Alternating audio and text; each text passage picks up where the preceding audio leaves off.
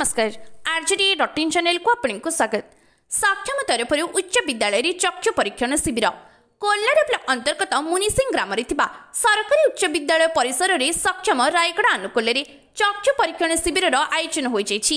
ବିଦ୍ୟାଳୟର ଷାଠିଏରୁ ଉର୍ଦ୍ଧ୍ୱ ଛାତ୍ରଛାତ୍ରୀଙ୍କ ଚକ୍ଷୁ ପରୀକ୍ଷଣ ସହିତ ବାର ଜଣ ବିଦ୍ୟାଳୟର ଶିକ୍ଷକ ଶିକ୍ଷୟିତ୍ରୀମାନଙ୍କର ମଧ୍ୟ ପରୀକ୍ଷଣ ହୋଇଯାଇଛି।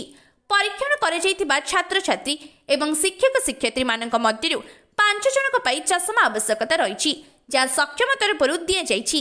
ତା ସହିତ ଜଣେ ଛାତ୍ର ଯିଏକି ବଧିର ଦିବ୍ୟାଙ୍ଗ ରୂପରେ ଚିହ୍ନଟ ହୋଇଛି।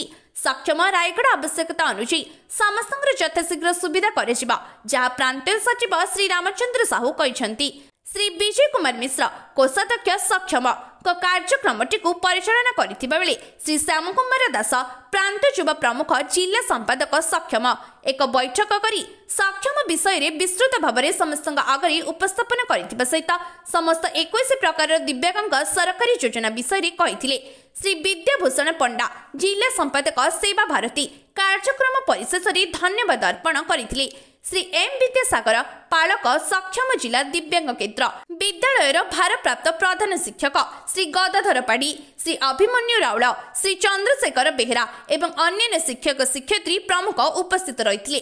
ରାୟଗଡ଼ା ଜିଲ୍ଲାରେ ସକ୍ଷମ ମାଧ୍ୟମ ଉପରେ ଏହିପରି ଅନେକ ଶିବିର ଭ୍ରାମ୍ୟମାଣ ଚକ୍ଷୁ ଯତ୍ନ କେନ୍ଦ୍ର ଚାଲିଥିବା ବେଳେ ଆଗାମୀ ଦିନରେ ମଧ୍ୟ ଏହିପରି କାର୍ଯ୍ୟକ୍ରମ ଜାରି ରହିବ ବୋଲି ଶ୍ରୀ ଶ୍ୟାମକୁମାର ଦାସ ସୂଚନା ଦେଇଛନ୍ତି।